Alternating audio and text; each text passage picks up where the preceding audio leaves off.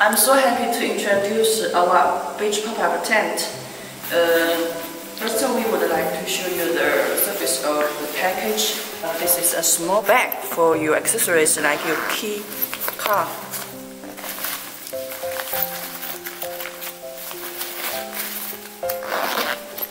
Quite easy to carry.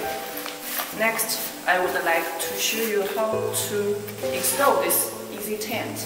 Um, this is the small bag um, used to contain the steel nail for a better window proof when you are using the tent on the beach.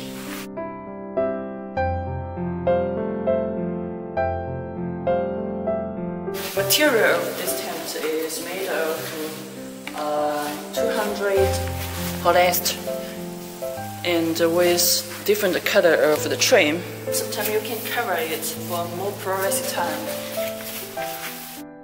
When the tent is set up on the beach, you can use um, the steel nail pull on these loops and then screw down on the beach. Commonly this is used for the winter winterproof. This is um, Oxford with waterproof and sandproof. Quite easy to cut in um, with the specification of this material. Um, with a new design that is there is three room of bag for sand. Um, commonly it has the same performance with the new. You can put sand on this bag and keep the tent more uh, stable. Uh, inside the tent wall, there is also three pockets uh, for the user to put their um, mobile phone inside. On the top of the tent, there is a hook, uh, especially designed for you to put small LED lights. When you enjoy your time on the beach and want to go back home, I'll show you how to install,